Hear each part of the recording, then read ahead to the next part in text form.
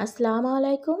আজকের পর্বে পুরনো একটি ঐতিহ্যবাহী খাবার, অসম্ভব মজার ছোলার ডাল দিয়ে খাসির চর্বি ভুনার রেসিপি নিয়ে চলে এসেছি।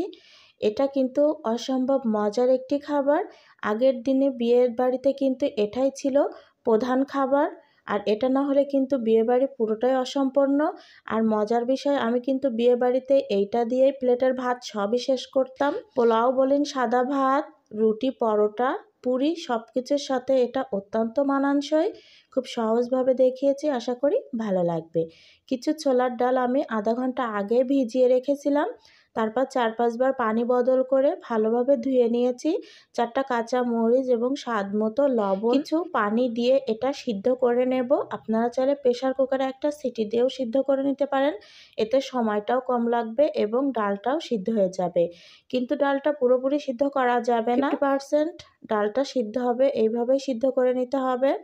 এখানে খাসির কিছু মাংস, চর্বি এবং হাড্ডি নিয়েছি। সব মিলিয়ে ছয়শো গ্রাম মতো আছে। ভালোভাবে কেটে ধুয়ে পানি ঝরিয়ে নিয়েছি।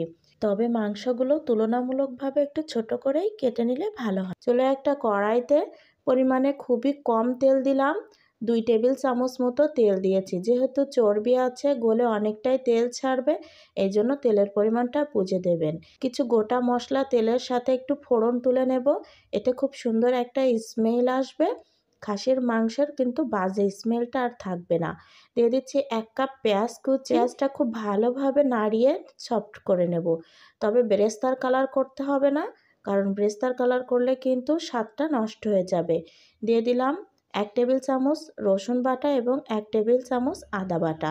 খুব ভালোভাবে পেঁয়াজের সাথে আদা রসুনের গন্ধটা যাতে চলে যায় হালকা একটু ভেজে নেব।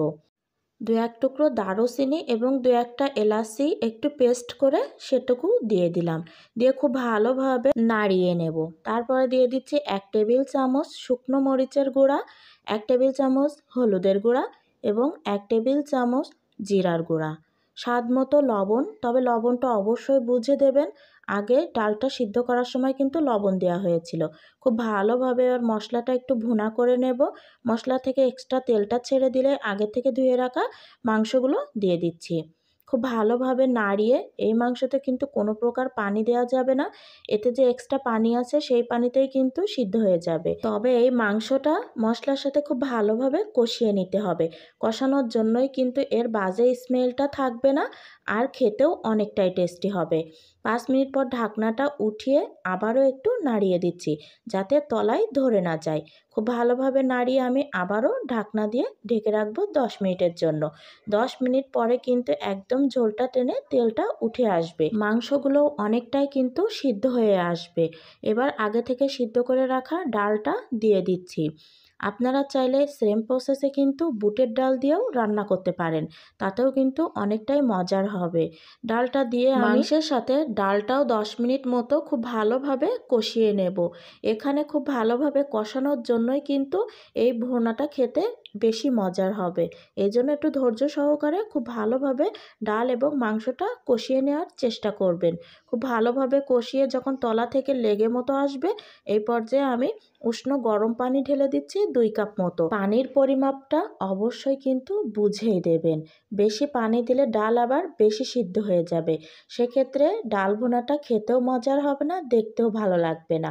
আবার বেশি ঝোল রাখলেও কিন্তু ভালো লাগে না।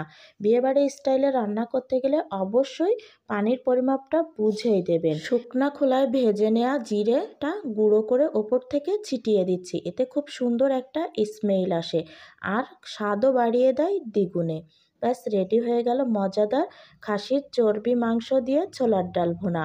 বিয়েবাড়ির স্টাইলেই রেসিপিটি দেখিয়েছি। আশা করি খুবই ভালো লাগবে। বরাবরের মতো আমার রেসিপি ভালো লাগলে অবশ্যই একটা লাইক করবেন। আমার এই ছোট্ট চ্যানেলে আমি সব সময় রেসিপিগুলো অনেক সহজ করে দেখানোর চেষ্টা করি নিজের মতো করে। আজকের মতো এখানেই বিদায় নিচ্ছি। সবাই অনেক বেশি ভালো থাকবেন। ভুল ত্রুটি ক্ষমা সুন্দর দৃষ্টিতে দেখবেন। আল্লাহ হাফেজ।